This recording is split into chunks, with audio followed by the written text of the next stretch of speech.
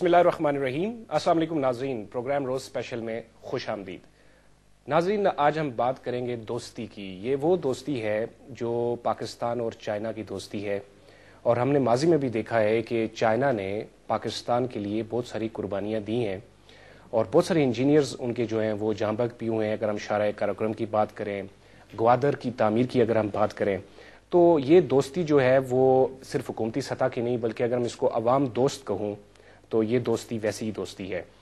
आज हमने इस दोस्ती की बात इसलिए आपके सामने रखनी है कि आपने भी सुना होगा, हम भी सुन रहे हैं और बल्कि पढ़ भी रहे हैं कि सी पैक जो है उसकी अहमियत हमें बताई जा रही है। लेकिन मैं कोशिश करूँगा इस प्रोग्राम के अंदर कि अपने मोजज़ जो मेहमान हैं, उनसे पूछूँ इस पैनल डिस्कशन में कि जी, ये जो सी पैक है, इसकी अहमियत क्या है? ये ग्वादर की अहमियत क्या है? ये जो अरेबियन सी है, इसकी क्या अहमियत है? और माजी में जो यहाँ पे इस गर्म पानियों तक पहुँचने की एक वॉर लड़ी गई। उस वॉर के नतीजे में जो भी नतज सामने आए, उनको मद्देनजर रखते हुए आज पाकिस्तान के लिए सी पैक की क्या अहमियत है। इसके हवाले से हम बात करेंगे, इस प्रोग्राम में जानेंगे, ख़ास करके दिफाई सूरत हाल, मुआशी और एक सकाफती कल्चर कैसा डेवलप होगा, क्या फ़वाद होंगे, इसको भी हम अपने मद्देनज़र इस प्रोग्राम में रखेंगे। हमारे साथ प्रोग्राम का हिस्सा है major general retired Khalid Naeem sahab. दिफाई तजियाकार हैं। मेरे साथ प्रोग्राम में खुश आमदीद। इरफान शहजाद साहब रिसर्च स्कॉलर हैं प्रोग्राम में खुश आमदीद। मुफ्ती अब्दुल खालिक आज़ाद साहब मजहबी स्कॉलर हैं प्रोग्राम में खुश आमदीद। जन साहब आपसे आगाज़ करता हूँ कि कौम जो है तारीख जब पढ़ती है तो आ, कुछ उरूज का वक्त होता है कुछ जवाल का होता है। लेकिन माजी में अगर हम जाएँ तो ये जो अरेबियन सी है जिसको गर्म पानी का समंदर कहते हैं इसके हवाले से एक वॉर लड़ी गई अफ़गानिस्तान के अंदर। उसमें जो है, पाकिस्तान, किसी न किसी सतह पे पाकिस्तान का किरदार भी रहा है अमेरिकन का रोल बहुत रहा है, दीगर कुतों का बहुत रहा है। उसको मद्देनजर रखते हुए मैं चाहूँगा कि जरा अरेबियन सी का जो आता है, इसको आप अपने अल्फाज में बयान करें। अरेबियन सी की इम्पोर्टेंस तो बहुत ज़्यादा है, इसमें कोई शक नहीं। और Gwadar is one of the very few deep sea port अभी अरेबियन सी में Gwadar sits at the mouth of Persian gulf so आपकी वर्ल्ड की almost fifty to sixty percent oil और दूसरे कार्गो जो भी है हम्म। वो इससे गुजर के जाती है। ठीक है। तो गवादर रिस्यूम्स इंपॉर्टेंस फिर चाइना की ट्रेड जो है they are looking forward to new markets जिसमें गल्फ स्टेट्स हैं जिसमें अफ्रीकन uh, स्टेट्स हैं पूरा अफ्रीका का कॉन्टिनेंट भी गवादर की प्रोविज़न uh, में आता है। आपने uh, बात की वॉर की। Uh, ये जो एक बोगी थी ना कि रूस वार्म वाटर तक एक्सेस जाता है जी जी। इस पे वॉर तो बहुत पहले से हुई थी। जब रशिया ने 1979 में इन्वेट किया था अफ़गानिस्तान पूरे को कैप्चर कर लिया था। अब वेस्ट ने इस टोन को ज़्यादा प्ले आउट किया इस नैरेटिव को कि रशिया का अभी नेक्स्ट टारगेट पाकिस्तान होगा। अच्छा अच्छा अच्छा। ये this was the time Ziaul Haq has just come into power 77 के कू के बाद। एंड अमेरिका और वेस्ट अमेरिका अपने वजूहत की वजह से कि रशिया से वो बदला ले सके वियतनाम वार में जो उनको डिफीट हुई थी। अच्छा। Plus also to deny Russia then Soviet Union access to warm water तो बिकॉज़ कोल्ड वार का एरा था और उस वक्त ये बड़े इसके ताने बाने बहुत दूर तक जाते थे। Ziaul Haq saw this opportunity and he upon it मुझे याद है पहले कितने 400 मिलियन डॉलर्स या ऐसे कुछ ऑफ़र हुए थे जिस पे जियाल हक के तारीखी रिमार्क्स थे कि ये पीनट्स हैं। अच्छा। तो फिर बाद में वो फोर बिलियन के पता नहीं कितनी हुई 4.5 billion and then Pakistan jumped into the fray यानी चार अशारिया पाँच बिलियन डॉलर्स जो मिले आ, उनको सामने रखकर हमने अमेरिका का इतादी बन गया। और दूसरा नहीं इसलिए भी कि वो अपनी आ, उसको पोजीशन को परपेचुएट करना चाहते थे। Ziaul Haq was an army chief, and at the most, if he uh, was so fed up with the, the then government of uh, Zulfikar Ali Bhutto, he could have taken over, removed him, not put him behind bars, and he could have held elections, next elections, after three months or six months. He continued to rule for the country, uh, became the president as well as uh, the chief army staff for uh, how long? Almost 10 years. जी तो सो पाकिस्तान में देखते हैं programme का बकिया हिस्सा बकिया हिस्सा। में। लेकिन पूछना ज़रूर चाहूँगा कि अगर हम माजी पे नज़र दौड़ाएँ तो हम देखते हैं कि ये जो खिता है अरेबियन सी है गर्म पानी समुंदर है इसकी इंपॉर्टेंस बहुत है। तो पाकिस्तान के साथ चूँकि एरिया लगता है तो आप बताना चाहेंगे नाजिन को कि इसकी इंपॉर्टेंस क्या है? देखिए बुनियादी चीज़ ये देखने की है कि ये अरेबियन सी और पाकिस्तान का जो जोग्राफियाई महल वकू है, ये बहुत अहमियत का हामिल है। हम एक तरफ़ देखें तो बंगाल से तजारती रास्ते दिल्ली, अमृतसर से होते हुए एक ज़माने में ईरान और आगे बगदाद तक जाते थे। खुशकी का तजारती रास्ता भी यही था। ऐसे ही चाइना से शायरा रेशम कदीम ज़माने से तजारती रास्ता वो यही इस्तेमाल करती रही है। और जब से ये बहरी रास्ते दरियाफ्त हुए हैं उनके हवाले से भी पाकिस्तान इस पूरे इलाके में एक बड़े अहम जोग्राफियाई महल वकू में है और पाकिस्तान इससे बहुत ज़्यादा फ़ायदा हासिल कर सकता है हम्म। लेकिन देखने की चीज़ ये है कि कोई भी कौम और रियासत तभी तरक्की करती है जब उसका कौमी निज़ाम किसी कौमी फ़िक्र और उस फ़िक्र की असास पर एक मुस्तहकम सियासी निज़ाम हम्म। और एक मुस्तहकम मुआशी स्ट्रक्चर की बुनियाद पर कायम हो। तभी वो फ़ायदा उठाया जा सकता है। अब देखना यह कि हमारे इर्द गिर्द उभरती हुई मीशतें हैं। उनमें इनकलाबात आए हैं। चाइना ने इनकलाब बर्पा करके सरमायादारी निज़ाम के मुकाबले पर उन्नीस में आज़ादी हासिल की। तो एक स्कूल ऑफ़ थाट पर एक सियासी और मुआशी निज़ाम बनाकर पूरी कौम को एक डिसिप्लिन एक ऑर्डर में लाकर तरक्की की है। ये मुजज़ा अज खुद रोनमा नहीं हुआ। उनकी कौमी शूर विजन और उसके सियासी मुआशी इम्पेक्ट का जो 250 साल में तरक्की की थी चाइना ने वो सिर्फ़ 50 सालों में 60 सालों में तरक्की हासिल कर ली। हम्म। एक तरफ़ ईरान है जिसने इनकलाब बर्पा करके अपने आप को एक स्टेबल मुल्क बनाया कि जिसमें छह दुनिया की ताकतें उसके साथ एटमी मामला पर मुजाकर करके माहिदा करते करती हैं। और अपना एक चीज़ बुनियादी तौर पर मामला तय पाते हैं। दूसरी तरफ़ इंडिया भी एक उभरती हुई मीशत के तौर पर पिछले पचास साल में ज़ाहिर हुआ है। तो ये जो गिरदो पेश के ममालिक हैं इनमें एक तरक्की का अमल हुआ है। रशिया की सूरत हाल भी हम देखें कि 1917 से लेकर अब तक के इनकलाबात के नतीजे में। हम्म। यूरोप के दो ढाई सौ साल दौर के मुकाबले पर उसने एक तरक्की करके एक मकाम हासिल किया है वेटो पावर हासिल की है। तो इस पूरे चारों तरफ़ हमारे जो तरक्की पसंद और इनकलाब अंगेज माहौल रहा है, उसमें होना तो ये चाहिए था कि उनसे हम एक रहनुमाई हासिल करते। कम अज़ कम हम जिस चीन के साथ दोस्ती की बात कर रहे हैं कि वो शहद से मीठी है और हिमालय से ऊँची है, समंदर से गहरी है, उस दोस्ती के कुछ असरात हमारे पर भी आते कि हम एक स्कूल ऑफ़ थाट मुतन करते, उसके मुताबिक तालीमी निज़ाम बनाते उसकी असास पर एक सियासी ढांचा मुस्तकम बनाते जो डिसिप्लिन और ऑर्डर के तहत इन सत्तर सालों में मुल्क को बूस्टअप करता और एक ऐसा मुआशी ढांचा तश्कील देते जिसके नतीजे में हम खुद मुख्तारी तौर पर फैसले कर सकते हम्म। अब हमारी हालत तो ये है कि हम अपने रियासत को इन चाइना से दो साल पहले आज़ाद होने के बावजूद भी हम उस मकाम तक नहीं पहुँचा सके जिसकी असास पर हम दुनिया की आज़ाद और बावकार कौमों से बराबरी की सतह पर किसी किस्म के मुजाकर या मामला तय कर पाए। बसा अवकात उसके नतीजे में हमें हमारे सिफारती वफद और हमारे पार्लिमानी लोग हैं उनको वीजे तक दस्तियाब नहीं होते। जी, जी। हाँ जो उनकी हैसियत जो है उस पर सैनट को पूरा एहतजाज करना पड़ता ठीक है मैं आपकी तरफ़ आता एक बड़ी बारीक बात है और मेरे ख्याल में इस पर हम थोड़ी सी बात भी कर लेंगे। एक school of thought school of thought Pakistan में अगर मुफ्ती साहब कहते हैं अगर नहीं है उनकी गुफ्तु से ये लगता है तो फिर हमारे लोगों को वीजे भी नहीं मिलते। ये वही बात हो रही है जो गफूर हैदरी साहब ने अप्लाई किया वीज़ा अमेरिका में और उनको कहा कि हम आपको वीज़ा नहीं देंगे। खुद मुख्तारी की जो बात होती है अमेरिकन के साथ हमारी एक एक काफ़ी अरसे से जब हमने रशिया को छोड़ के अमेरिकन की तरफ़ मूव कर लिया तो खुद मुख्तारी पे कहीं ना कहीं हमें जरब लगती हुई नज़र आती है। चाइना के आने के बाद, यहाँ पे खुद मुख्तारी का क्या स्टेटस होगा? देखें पहली बात, हम इसकी सीपीसी की बात करते हैं जी। उसको बहुत से खदशात लाक हैं। अमेरिका नहीं चाहता कि ये रूट बने। वेस्ट भी नहीं चाहता। ठीक है। इंडिया नहीं चाहता। ठीक है।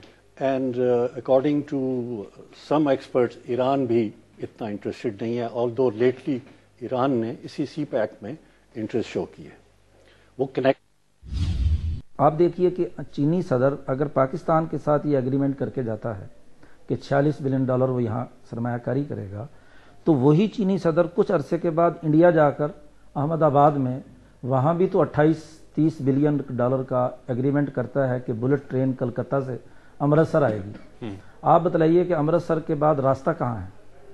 क्या अमृतसर कोई बहुत बड़ी इंडस्ट्री है? जी। उसको आज नहीं तो कल जब भी मामला रीजन में तय हों ज़ाहिर है मुल्कों के दरमियान। तो उसको ज़ाहिर है कि आगे जाना है। और उन तमाम मामला को पेश नज़र रख कर चीज़ों को देखना चाहिए कि इकतसादी तौर पर ये ममालिक यानी एशिया और ख़ास तौर पर ये जनूबी एशिया ये मुआशी तौर पर जो ग्रोथ कर रहा है उसमें हमारी जो कौमी क्यादत है वो के साथ इन तमाम मामला पर नज़र रख कर फैसले साजी करे तो यकीनन तरक्की होगी। लेकिन अगर एक मखसूस माफिया के मफादात के लिए ये सड़कें बने या रास्ते और रबते वजूद में आए तो फिर ज़ाहिर है कि रोज बेरोजगारी भी बढ़ेगी और लोगों के मसाइल भी हल नहीं होंगे। ठीक है। वैसे जनरल साहब इस बात से तो इतफाक करते होंगे ना जी आपकी जो क्यादत है अगर वो बाशूर नहीं होगी और चंद लोग जैसे कि हम देख रहे हैं कि लड़ाई शुरू है झगड़ा शुरू है कि फलां सूबे में रेल दे दो फलां सूबे में सड़क दे दो फलां सूबे में रेल दे दो फलां में सड़क दे दो बाशूर तो हमें क्यादत नज़र नहीं आती। मुफ्ती साहब के के बाद एक चीज़ मेरे जहन में आ गई कि रीजनल अलायंस जो है, वो बड़ा इंपॉर्टेंट भी है। थर्टी सेवन यानी सैंतीस ममालिक जो नेवी की एक्सरसाइज हुई उससे एक बड़ा अच्छा मैसेज पूरी दुनिया में गया है। लेकिन हमें कुछ खतरात भी हैं। खतरात से मुराद ये, जैसे ब्लास्ट आपने देखा, कुछ दिन पहले ब्लास्ट भी हो गए। तो अगर मैं पड़ोसी मुल्क भारत की बात करूँ तो हमारी खारजा पॉलिसी में भी और हम भी जब बात करते हैं तो हमें भारत शरारत करते हुए नज़र आता है और सबूत भी हमारी फॉरेन ऑफ़िस के पास और गवर्नमेंट के पास मौजूद है। तो खतरात पे अगर हम बात करें तो ये भारत क्यों नहीं चाहता कि सी पैक बने? उसको तो वैसे आप भी तो जाना चाहिए उसका भी तो फ़ायदा होगा। नहीं उसका फ़ायदा तो तब होगा जब वो इंटरलिंक हो। जिस तरह मुफ्ती साहब ने अभी कहा कि बुलेट ट्रेन बन रही है अमृतसर तक। और अमृतसर से आगे आप कह रहे थे क्या होगा? अमृतसर से तो यही है ना कि रोड कनेक्शन और रेल कनेक्शन ऑलरेडी एग्जिस्ट करते हैं बट पार्टीशन के बाद उनको कट ऑफ़ कर दिया। आपका समझौता एक्सप्रेस चलती है। सिंध बॉर्डर से भी ट्रेन चलती थी। अभी मेरे ख्याल में वो भी बंद हो गई है। तो वो रवाबित तो सैकड़ों हज़ारों साल से हैं। और ये आपने वैसे इन रवाबत को बहाल नहीं किया जा सकता? नहीं मैं मुफ्ती साहब की बात से एग्री करता हूँ कि आप जितने भी ममालिक हैं रीजन के एक तो आप जोग्राफी चेंज नहीं कर सकते। ठीक है। जो आपके नेबर्स हैं वो नेबर्स रहेंगे। आप चाहे कुछ भी कर लें।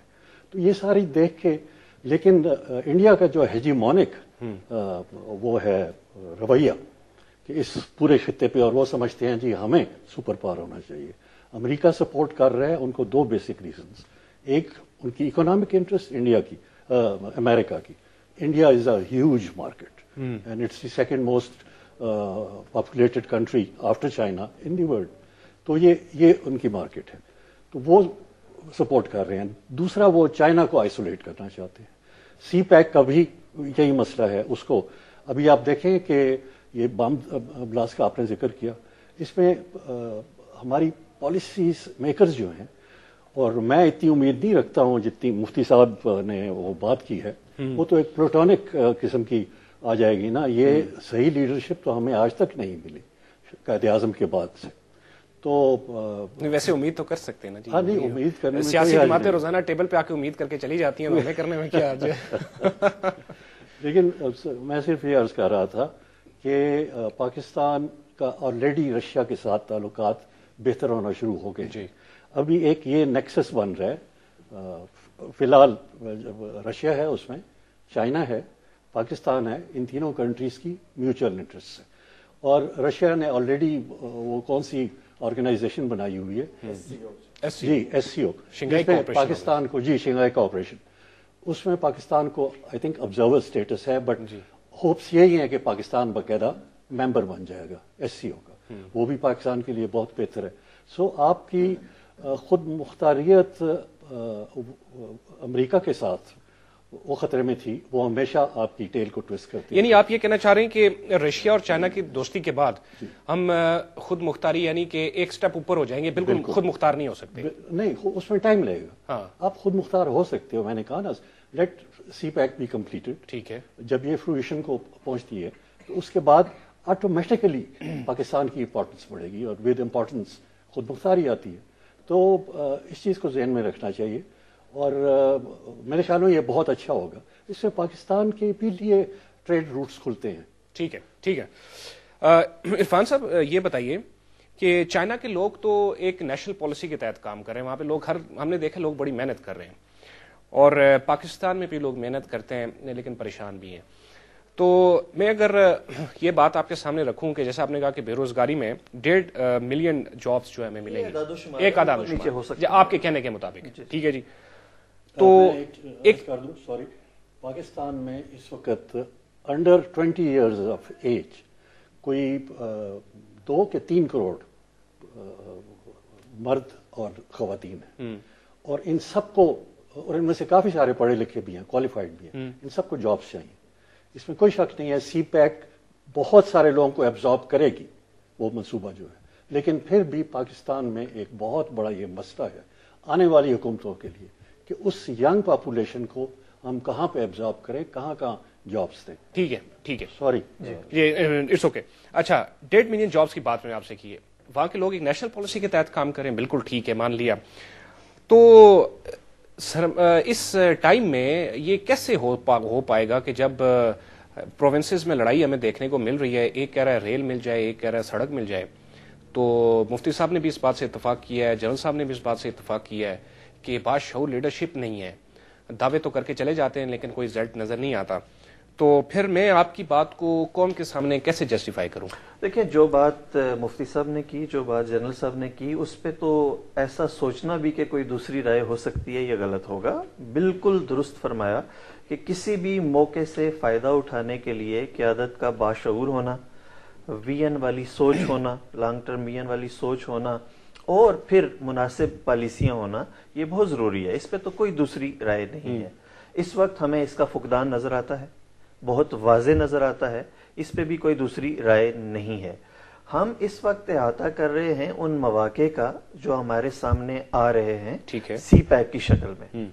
अब ये तो वक्त बताएगा कि हम इन मौाक़े से कितना फ़ायदा उठा सकते हैं। और कितना हम नाकाम रहते हैं।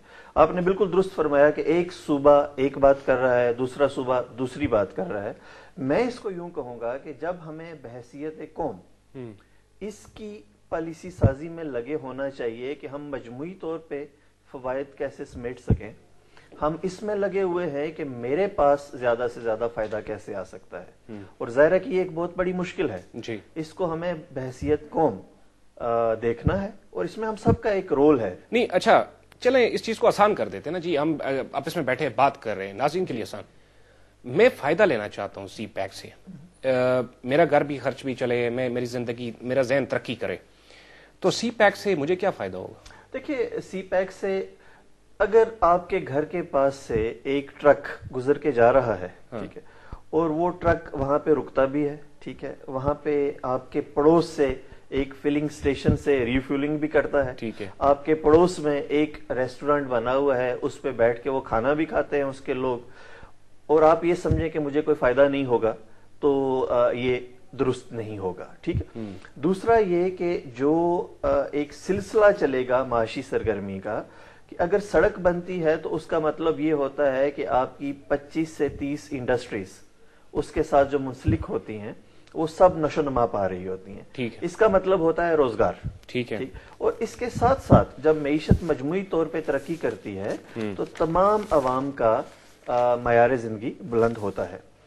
जाती तौर पे क्या फ़ायदा हो सकता है? ये पर्सन टू पर्सन क्वालिफिकेशन और पोजीशनिंग पे डिपेंड करता है। मेरे ख्याल में फिर चाइनीज़ जबान भी सीखनी पड़ेगी हमें। चाइनीज़ सीख रहे हैं पाकिस्तानी। हम्म। और बहुत देखिए हमने अंग्रेज़ी भी तो सीखी है ना ये कोई हमारी ज़ुबान तो नहीं हमारी गुलाबी अंग्रेज़ी नहीं है वैसे वो ना उर्दू आती है ना अंग्रेज़ी आती है सही है। लेकिन चीनी के मामले में हमें ये नहीं करना। हाँ, हमें चीनी हमें, चीनी अपनी जगह तो फिर मिनिस्ट्री ऑफ़ एजुकेशन को बाकायदा चाइनीज़ ज़ुबान शुरू कर देनी चाहिए। कर चुके हैं। अल्फाबेट्स तो उनके जो है वो सिंबल्स है। सिंबल्स है। जी, बिल्कुल। सिंबल्स से वो एक्सप्रेस करते हैं। चार जी बेशुमार है। अच्छा। और चीनी ज़ुबान सीखना आसान भी नहीं है लेकिन इसके बावजूद हमें एफर्ट करनी है। चले चले ठीक है। अच्छा मैं नाजीन को बताता चलूँ कि जो प्रोजेक्ट्स हैं इस वक्त नाजीन सी पैक के अंदर वो चाइनीज़ फाइनेंस प्रोजेक्ट्स जो चाइना फाइनेंस कर रहे हैं उनके बैंक्स फाइनेंस कर रहे हैं जिसमें एनर्जी है इंफ्रास्ट्रक्चर है ग्वादर है अदर प्रोजेक्ट्स में छोटे मोटे प्रोजेक्ट्स हैं। इसके अलावा रेल बेस्ड रेल का जो निज़ाम है उस पर बात वो कर रहे हैं प्रोजेक्ट्स ट्रांजिट प्रोजेक्ट्स को कहते हैं न्यू प्रोवेंशियल प्रोजेक्ट्स हैं प्रोपोज स्पेशल इकोनॉमिक जोन्स बनेंगे इकोनॉमिक जोन्स ये लड़ाई आप भी सुन रहे होंगे देख रहे हैं उसी पर हम बात कर रहे हैं। एक एक नेचुरल सी गुफ्तु आपके सामने रख रहे हैं कि क्या होगा। बेसिक लड़ाई इसी बात हाँ हाँ, और जी। जो आपकी ईस्टर्न रूट है जी। और सिंध भी उसमें आता है। सिंध और पंजाब को बहुत फेवर दी जाती है। जी।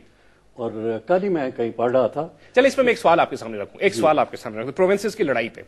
Special social sector development projects हैं और पीएसडीपी के पास जो प्रोजेक्ट्स हैं पाकिस्तान इसमें CPEC related projects under PSDP ये बहुत सारी ऐसी चीज़ें हैं जो आपके सामने अ, रखना ज़रूरी भी हैं लेकिन अखबार वगैरह में भी आप पढ़ के मेरे ख्याल से तनु को बुला के आपके सामने कोई तस्वीराती मुआशी पहलू रखें ताकि ताकि चीज़ें आसान होती रहें समझने में आसान होती रहें। जी प्रोविंसेस की लड़ाई पे मुसूबों की लड़ाई पे अगर बात हैं जो इकोनॉमिक जोन्स बन रहे हैं तो सिंध वाले कह रहे हैं कि जी हमें इकोनॉमिक जोन मिलना चाहिए पंजाब वाले कह रहे हैं सरहद वाले परेशान हैं उधर से कश्मीर वाले परेशान हैं कि जी हमें भी मिलना चाहिए। तो ये सूबों की लड़ाई मजीद तफरीक पैदा नहीं करेगी अवाम में? वो वो तो कर रही है। हम नेशन की बात कर रहे थे जी। कि एक यूनिफाइड अप्रोच होनी चाहिए पाकिस्तान की। वो अनफॉर्चुनेटली नहीं है।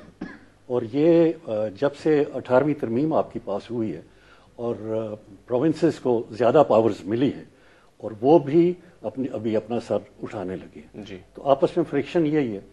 सिंध और पंजाब को जो अप्रीहेंशन है बलोच बलोचिस्तान और खैबर पख्तूनख्वा की वो ये है कि उनको ज़्यादा इकोनॉमिक जोन्स मिलेंगे। जी। बजाय वो कहते हैं जी जो आपकी वेस्टर्न रूट है जो बलोचिस्तान और खैबर पख्तूनख्वा से गुजरती है वो तो सिर्फ़ सड़क बना दी है उन्होंने। ठीक है। चाहे वो दो रोया सड़क है या जैसी भी है जैसी जी। जितने तक हमें भी इकोनॉमिक जोन्स वहाँ नहीं दिए जाएँगे जिस पे अभी तक हुकूमत खामोश है और ये इकोनॉमिक जोन्स भी मैं वो उनकी कॉन्ट्रैक्टर्स की बात कर रहा था उनकी एसोसिएशन ने बड़ा स्ट्रॉन्ग ऑब्जेक्शन किया है गवर्नमेंट की पॉलिसी जिसमें वो कहते हैं हमें टू परसेंट या थ्री परसेंट प्रोजेक्ट्स मिले। कंस्ट्रक्शन हो या जो कुछ भी हो। और ज़्यादातर चाइनीज़ कंपनी को दिए जा रहे हैं। ये उनका है और बलूचिस्तान और खैबर पख्तूनख्वा के जायज़ इश्यूज़ हैं इतराज़ात हैं जिनको एड्रेस करना चाहिए। बजाय इसके कि आप अभी तक खामोश हैं। तो भाई आप सड़कें तो दिखा रहे हैं। अच्छा वैसे गवर्नमेंट क्यों खामोश है? आपने कोई तहकीक की है? जी मैं तहकीक तो नहीं की लेकिन जो कुछ मुशाहदे में आता है जो कुछ इंसान पढ़ता है जो कुछ देखता है जो कुछ सुनता है उससे आप अपना एक ओपिनियन फॉर्म करते हैं। ठीक है। तो अभी तक खामोशी क्यों है? आप मुझे बताएँ ना economic zones on ground pinpoint क्यों नहीं हुए? हाँ ये ये सवाल तो मैंने आपसे पूछने के लिए आपको दावत दी। अच्छा जी इरफान साहब इकोनॉमिक जोन्स पे बात कर लें दिलचस्प कर लें प्रोग्राम को लोग बोर भी हो जाते हैं। तो क्या इकोनॉमिक जोन से लड़ाई क्या है? सिंध वालों की क्या लड़ाई है? बलूचिस्तान की क्या है? केपीकी की क्या है? पंजाब की क्या है? देखिए बड़ी हद तक लड़ाई उस पर सुलो की जाने पेशरफ्त हो रही है और ये हम सब के लिए अच्छी खबर है। और मैं तो ये कहूँगा कि हम सब की और मीडिया की ये ज़िम्मेदारी भी है कि अगर कोई अच्छी खबर है तो उसको भी हम लोगों के सामने रखें। ये बात सही है कि शुरू में हुकूमत खामोश थी। और अभी तक भी बड़ी हद तक तफसीलात वाज नहीं है जो कि हुकूमत की नायली है।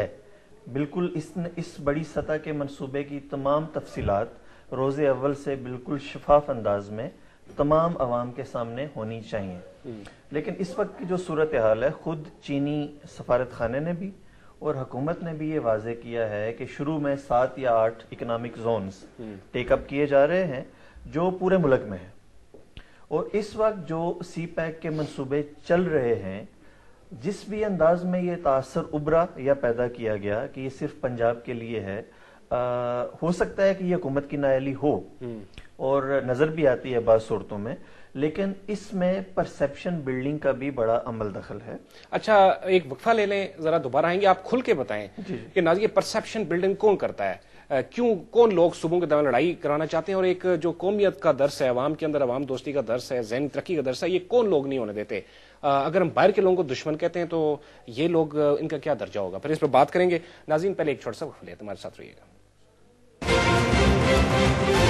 रोज स्पेशल में वेलकम बैक इरफान साहब, आपकी तरफ़ जाऊँगा, कुछ वक्त रहता है, लेकिन नाजीन को ज़्यादा से ज़्यादा हमने बताना है सी पैक के हवाले से। मैं उसी गुफ्तु की तरफ़ जाऊँगा कि ये जो लड़ाई है इकोनॉमिक जोन्स की कि सिंध में लगनी चाहिए सरहद में पंजाब में या बलोचिस्तान में इस पर हम बात करते हैं आप कंटिन्यू करें। जी देखिए अभी तक जो खबरें आ रही हैं जो मालूम मिल रही हैं उसके मुताबिक 40 से 50 के दरमियान इकोनॉमिक जोन्स बनेंगे। और जो मेरी मालूम हैं जो मैं जमा कर पाया हूँ ये हम्म। पूरे मुल्क में होंगे। देखिए पहले तो ये सोचना कि सिर्फ़ पंजाब इस पूरे मुल्क में होंगे। जी जी पूरे मुल्क अच्छा। में होंगे।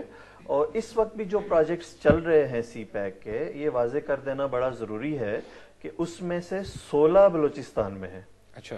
सिर्फ़ 12 पंजाब में है। ठीक है। तेरह सिंध में है। ठीक है। और केपीके में भी आठ है।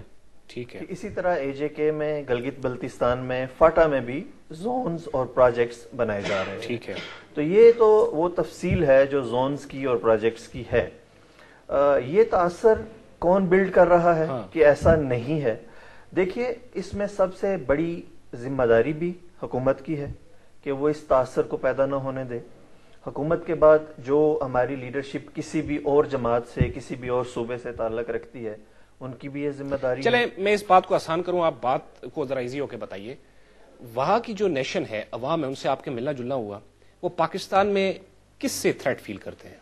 देखिए सबसे पहले तो पाकिस्तान का सिक्योरिटी इमेज उनके लिए एक मसला रहा है। लेकिन अब वो ये समझना शुरू हो गए हैं कि पाकिस्तानी कौम इस काबिल है कि वो अपने सिक्योरिटी थ्रेट्स की आ, उसको ज़िम्मेदारी से निभा सकती है। हम्म। और ये हमारा एक अच्छा इमेज पिछले दो तीन सालों में वहाँ पे बना है जो हमारे लिए अच्छी खबर है। ज़ाहिर है दूसरा उनके लिए ये भी थ्रेट है कि जो बाकी ममालिक हैं उनकी साजिशें किस किस तरह की हो सकती हैं। हम्म। इस पे वहाँ पे डिबेट भी होती है। लेकिन उनको ये अंदाज़ा भी है कि पाकिस्तान और चीन मिल के इन साजिशों का मुकाबला भी कर सकते हैं। जहाँ तक पोलिटिकल डिफ्रेंसिस का ताल्लक है और ये चीनी पॉलिसी साजों के लिए और खुद हमारे लिए भी, हमें भी इसी अंदाज में देखना चाहिए। दुनिया का कोई मुल्क ऐसा नहीं है जिसमें ये इख्तलाफ राय नहीं होता। मंसूबों के ऊपर। खुद अमेरिका में पाइपलाइंस नहीं बनने दी जाती डैम्स नहीं बनने दिए जाते पानी के वसाइल नहीं बनने दिए जाते। भारत जिसकी हम मिसालें देते हैं वहाँ पे दर्जनों स्टेट्स के दरमियान पानी के वसाइल पे झगड़ा है। हम में ज़्यादा हो सकता है लेकिन हमें इसका ख्याल रखना है कि हम मैनेज कर सकते हैं। ठीक है ठीक है। मुफ्ती साहब आप ये बताइए कि जो सकाफत की हमने बात की है कि अगर चीनी का चीनी जैसे सी पैक के बनने के बाद अभी हम जो तैयारी में ज़ाहिर है हमने रिज़ल्ट लेने हैं उसके। तो सकाफत की तब्दील होने की कोई लोग बातें करते हैं सकाफत भी तब्दील हो जाएगी चाइनीज़ ज़ुबान सीखनी पड़ेगी कहीं चाइन चाइनीज़ फोबिया ही ना हो जाए हम लोगों को। तो मैं चाहूँगा कि इस हवाले से जरा आप अपना कॉमेंट सामने रखें। देखिए सकाफत और कल्चर जब बैन अवी समाज वजूद में आता है तो उसमें रूटीन की तब्दीलियाँ तो एक फितरी अमल है हम्म। होता रहा है। लेकिन देखने की बात यह है कि जो बुनियादी स्कूल ऑफ़ थॉट है जिसकी असास पर रियासतों या कौमों की शनाख्त होती है जी। वो बरकरार रहना चाहिए। अब हम अठानवे निन्यानवे फ़ीसद मुसलमान हैं तो मुसलमान होने के नुक़ नज़र से दीन इस्लाम की सलामती का जो बुनियादी तस्वुर बिला तफरीक रंग नस्ल मज़हब तमाम इंसानों के लिए अदल अमन और मुआशी खुशहाली। ये तीन बुनियादी उसूल दीन इस्लाम की तालीमत के हैं जिसकी असास पर सोसाइटी तरक्की करती है। इसकी बुनियाद पर अगर आपका कल्चर आगे बढ़ता है और आप अपनी कौमी सोच पर और मिली सोच पर बरकरार रहते हैं तो ज़बानों से तो कोई ख़ास फ़र्क नहीं पड़ता। ठीक है। ज़बान आप अंग्रेज़ी बोल रहे हैं या चीनी बोल रहे हैं या हिंदी बोल रहे हैं या उर्दू बोल रहे हैं या कोई सिंधी पंजाबी बोल रहे हैं। ठीक है। लेकिन एक चीज़ देखनी होती है कि कौम में जो ज़बान और तहजीब व सकाफ़त होती है उसकी तारीख़ में एक जड़ें होती हैं। हमारी जो तारीख़ी हज़ार डेढ़ दो हज़ार साल की ख़ास तौर पर इस खत्े में मुसलमानों की जो तारीख़ रही है उसकी सकाफ़त से तो हम 200 साल पहले कट चुके थे। ठीक है। हमें फ़ारसी ज़बान यहाँ की सरकारी ज़बान थी उसी का अदालती सियासी फ़ैसले थे अरबी ज़बान थी हम उससे कट गए अंग्रेज़ी की तरफ़ चले गए।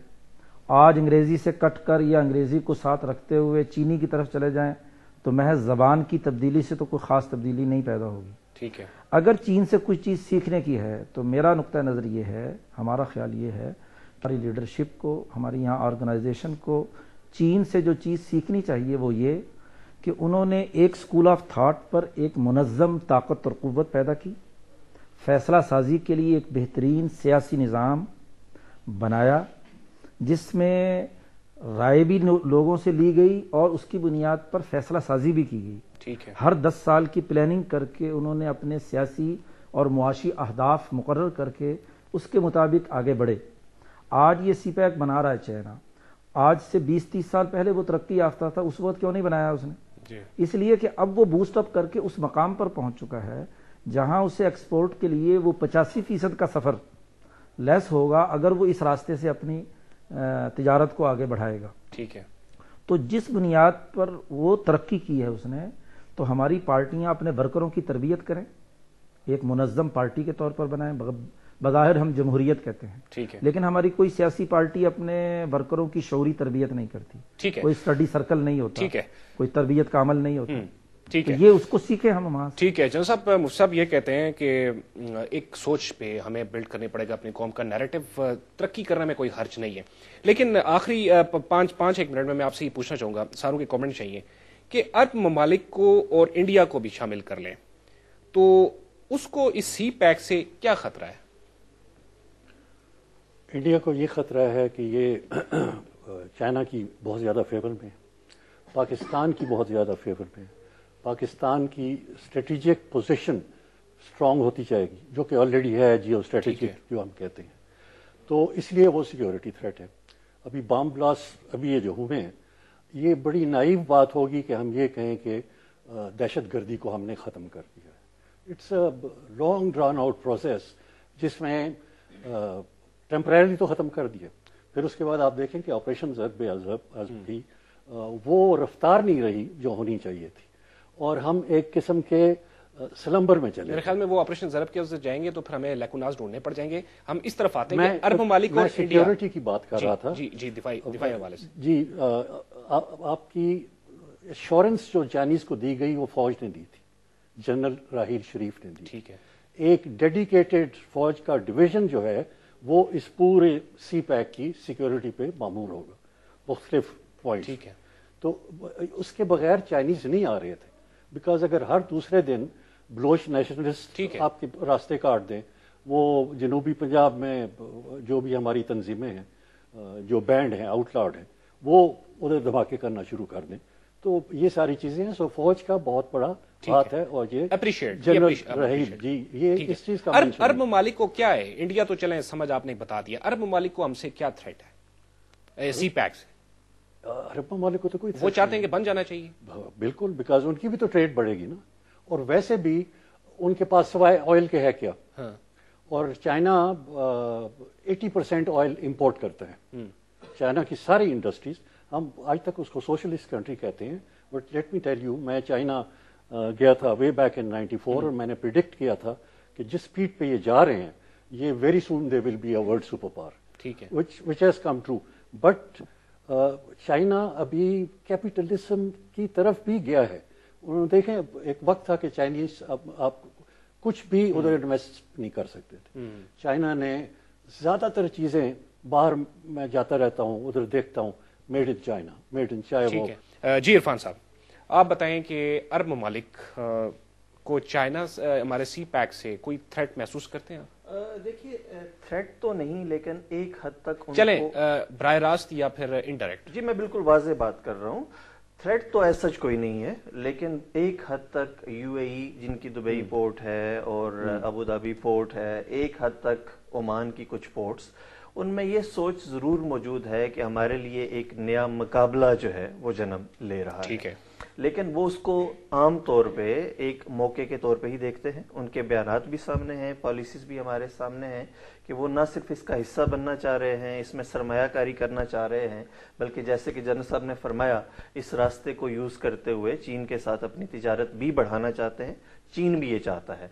तो अरब ममालिक तो इसका हिस्सा बन रहे हैं और बनेंगे। ठीक है। मुफ्ती साहब, आप ये बताइए कि भारत क्यों नहीं चाहता कि सी पैक मुकम्मल हो बन जाए? और क्या आप समझते हैं कि अरब ममालिक को भी कोई इससे थ्रेट है? नहीं जी क्योंकि इस पूरे सी पैक का पूरे रीजन को फ़ायदा है।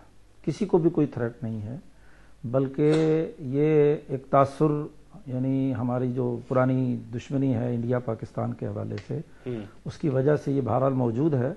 लेकिन जो इस वक्त बैन अवी रिश्ते और तजारती मुआशी तरक्यात के अमल चल रहे हैं उसमें आज नहीं तो कल।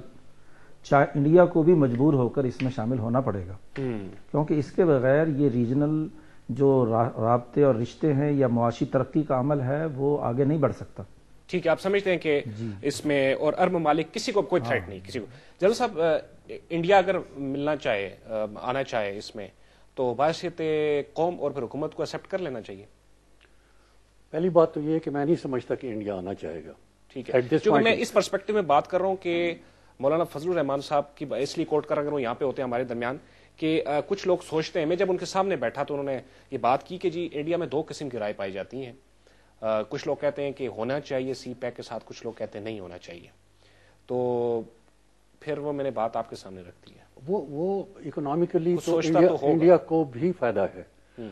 अगर ईरान की गैस पाइपलाइन आती है वो कनेक्ट होती है इंडिया के साथ। इंडिया को फ़ायदा है। वो जो आपकी तुर्कमेनिस्तान से टापी कहते हैं या क्या उसे? जी टापी जी वो इंडिया तक जा रही है। वो तो है दैट्स ऑन दी कार्ड्स तो उसको फ़ायदा हो रहा है। बट आप एक तारीखी हकीकत जहन में रखें हम्म। कि इंडिया के साथ जब से ये दोनों कंट्रीज़ बने हैं आपका एक जो रिश्ता रहा है ना वो जंगी रहा है। और उसमें पीस की गुंजाइश कमी थी। दोनों तरफ़ एक्सट्रीमिस्ट भी हैं उधर भी हैं इधर भी हैं। तो उधर भी आरएसएस है इधर भी हमारी मैं नाम नहीं लेना चाहता हूँ। ठीक है। जो बहुत अगेंस्ट है। ठीक है। मौलाना मुफ्ती साहब जहाँ तक इनका नहीं मुफ्ती महमूद की बात कर मौलाना फजल साहब के वाले साहब? फजल रहमान के वाले साहब। वो और उनसे पहले वो तो पाकिस्तान के खिलाफ थे। हम्म। चले वो एक अलग बहस है। अच्छा, उस पे हम अगर जाएँगे तो वो एक अलग बहस है चूँकि मैं नहीं चाहूँगा कि हम हम चाहेंगे कि इंडिया इंडिया चूँकि वक्त भी आप उनकी सोच को चेंज कर सकते हैं over a period of time वो लोग जो ट्रेड के हक में है इन कम्युनिकेशन रूट्स के हक में है उनको जरा और एक्सपैंड होने दें। अभी तो इंडिया आपके पानी को रोकने की बात कर रहे हैं। आप आप इसके हक में नहीं है कि इंडिया इसमें आना चाहेगा। नहीं नहीं वो, वो फ़िलहाल ठीक है ठीक है इरफान साहब आखिरी आखिरी आखिरी बात। आप समझते हैं कि अगर इंडिया हमारी तरफ़ आ जाए तो खत्े में इस्तेकाम पैदा हो जाएगा सीपैक के वाले पॉइंटेडली मैं ये कहूँगा कि इंडिया की जानब जिस चीज़ का फुकदान है वो है सियासी जिसको आप कहें इरादा पोलिटिकल विल का फुकदान है। सबसे पहले तो उनको ये एहसास दिलाना है हमें कि वो हमारे वजूद को तस्लीम करते हैं। ठीक है। उसके बाद इसमें कोई दूसरी राय नहीं है कि वो सी पैक को इस्तेमाल करें तो उनका भी फ़ायदा है और हमारा ठीक। ठीक है बहुत शुक्रिया खालिद नईम साहब आपने आप तशरीफ़ लाए। इरफान साहब आपका बहुत शुक्रिया मुफ्ती अब्दुल खालिद साहब आपका बहुत शुक्रिया। नाजीन ये जो एक बहस आपके सामने हमने रखी है एक डिस्कशन अगर मैं कहूँ हमने आपके सामने रखी है इसमें किसी को किसी को फतह करना या किसी को मगलूब करना मकसद हमारा नहीं है। कौमी मुफाद में आपके सामने मुआज़ मेहमानों की जो आरा रखी हैं, इसलिए रखी हैं कि एक नैरेटिव आपके सामने कौम तक और उसके बाद जो हुकूमत है उस तक पहुँचे कि सी पैक एक ऐसा मनसूबा है कि जिससे हमारी जो दोस्ती है उसमें इजाफा होगा, कौमी सतह पर भी और हुकूमती सतह पर भी। लेकिन उसके साथ साथ जो खदशात हैं, उनमें एक बड़ा खदशा ये है कि पहले भी प्रोजेक्ट्स लगते रहे, उस पर कुछ लोगों ने फ़ायदा ले लिया, चाहे वो सियासी हों या गैर सियासी। और कुछ लोगों ने फ़ायदा नहीं लिया और वो आज तक पिसते रहे। इस चीज़ को ख़त्म होना चाहिए, एक कौमी सोच पे आके सी पैक को हमें देखना पड़ेगा और अवाम को उस शौरी लेवल तक लाना पड़ेगा इस सी पैक को एक्सेप्ट करने के लिए। दूसरी आम चीज़ ये है कि जो इकोनॉमिक जोन्स का की लड़ाई है, ये चौवन बिलियन डॉलर्स का जो मायदा हो गया है सी पैक का। ये लड़ाई कोई अवामी सतह की नहीं है। कुछ लोगों के मुफादात, मेहमान कहते हैं, कुछ लोगों के मुफादात हैं, और इन मुफादात को कौम के लिए, मुल्क पाकिस्तान के लिए खुदारा आप जो है वो तर्क कर दें और इनको ख़त्म करके एक कौमी सोच दें। और सूबों में, जैसा कि इरफान साहब ने कहा कि यहाँ पे सूबों में बाकायदा तौर पे प्रोजेक्ट्स जो है इकनॉमिक जोन हैं, वो लगेंगे। ज़रूरत इस समर की है कि हम ये प्रोग्राम आपके सामने इसलिए रख रहे हैं, इसलिए कर रहे हैं, आपको शूर दे रहे हैं कि एक कौमी सोच पैदा हो। और जहाँ पे बैन अवी सतह पर दुनिया तरक्की कर रही है, पाकिस्तान अपनी जोग्राफिया लिहाज से भी और टैलेंट के लिहाज से भी हमें दुनिया में उभरता हुआ नज़र आए। इजाज़त दीजिए मेजबान अदील बशीर को प्रोग्राम रोज स्पेशल से। खुदाफिज